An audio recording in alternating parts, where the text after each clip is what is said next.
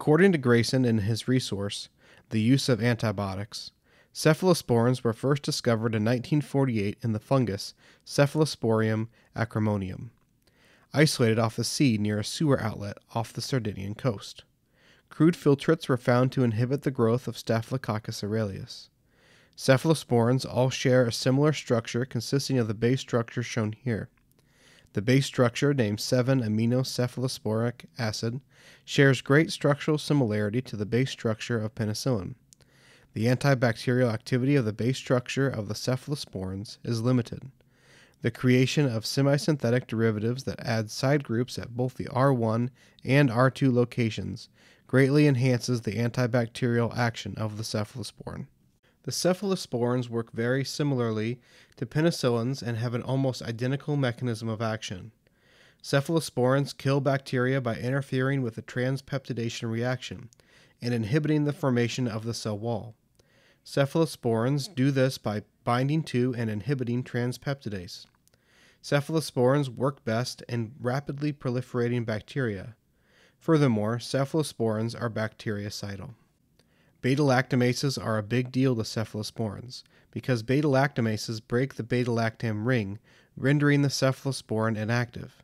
Shown here again is the base structure of the cephalosporin, and beta lactamases act right at the bottom of the beta lactam ring, breaking the bond between the carbon and nitrogen and opening up the ring. This structural change to the cephalosporin is what renders it inactive by preventing cephalosporin interaction with transpeptidase. Cephalosporins are more stable to many beta lactamases that would degrade penicillins. Having said this, there are still strains of Klebsiella species and E. coli that express robust beta lactamases that are still able to bind and hydrolyze cephalosporins. In addition to beta lactamases, other mechanisms of bacterial resistance to cephalosporins include altering porins, altering the molecular structure of transpeptidase, and the upregulation of cephalosporin efflux pumps. Porins are the gateway for cephalosporins to access the cell wall in a gram negative bacterium. You'll recall that gram negative bacteria have an outer membrane that surrounds the peptidoglycan cell wall. In order for cephalosporins to penetrate a gram negative bacterium, they must pass through porins located in the outer membrane. Some gram negative bacteria are able to develop a resistance to cephalosporins by altering their porin channels and thus preventing cephalosporins from entering the cell to inhibit cell wall synthesis. The structure of transpeptidase is also an important factor in cephalosporins eliciting an effective inhibition of cell wall synthesis. Some bacteria are able to generate resistance to cephalosporins by altering cephalosporin binding to transpeptidase. This usually occurs due to point mutations that occur in the cephalosporin binding pocket. If a cephalosporin is unable to bind to transpeptidase, then the cephalosporin is unable to inhibit cell wall synthesis. The final method of resistance to cephalosporins is due to increased efflux of the cephalosporin itself. Some bacteria are able to upregulate efflux pumps that actively transport a cephalosporin out of the cell after it has entered. Normally, a cephalosporin is able to kill the bacteria.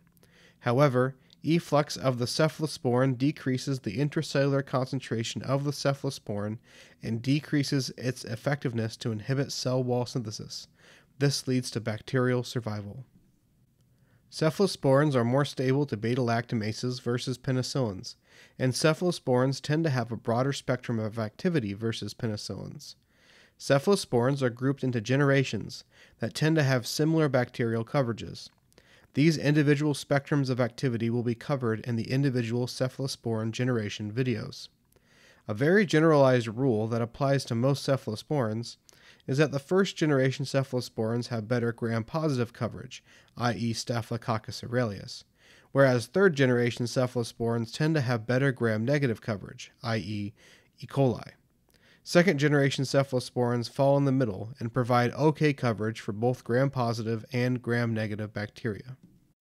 Hypersensitivity to the beta lactam ring is the most common side effect to cephalosporin use. The most common manifestation of this hypersensitivity is a macular papular rash that develops several days after therapy. The rash is sometimes accompanied by eosinophilia or fever. Due to the structural similarity between the cephalosporins and the penicillins, a hypersensitivity reaction to a cephalosporin would likely have cross reactivity with a penicillin. This is of major concern for patients who have a history of a severe allergy to penicillin, because a similar life threatening reaction may occur if the same patient is given a penicillin. Other adverse effects for the individual cephalosporin generations exist, and these individual generation adverse effects will be addressed in the individual generation videos. This concludes the video. Thanks for watching. Please direct any questions to me on Twitter at Sheehy underscore Ryan. I've also included my sources here. Thanks again.